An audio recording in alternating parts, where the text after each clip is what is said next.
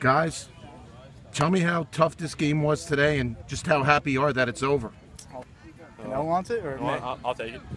Uh, the, Spots was a great team, man. They uh, they tu- they tussled. They they found a way to just get it close to the end, and we we kicked ourselves in the butt a lot, but uh, we uh, we got it done in the end. Uh, Spotswood, we knew coming in that that was going to be one of our toughest matches of the regular season. So we knew we had to come out fired up, which we didn't. And so we somehow found a way to win. The line, blown guys off the line. 75, huge. 75 had a huge, great game. Huge. And they still found a way to block them, and that got the holes open for us, which uh, let us close the game. Doug, it's a, Shore's not really known for making that many mistakes. 25 penalties, 180 yards today. I know you guys are happy to win, but I don't think you're satisfied. Would you agree with that? Yeah, uh, that was unacceptable completely. Coaches at halftime screaming, but that's what we expected at that point because we just kept kept shooting ourselves in the foot. It was terrible. Just all, everyone. We just got to have a good week of practice now and get ready for Keansburg.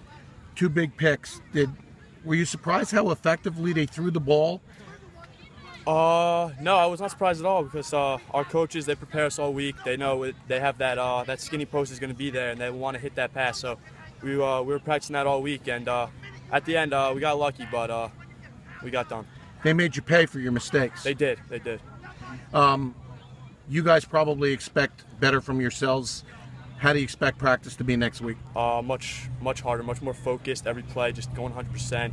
Not taking anything for granted right now because uh, right now we're not where we need to be. We need to get better, better every day because at the end of the year we can't be playing like this.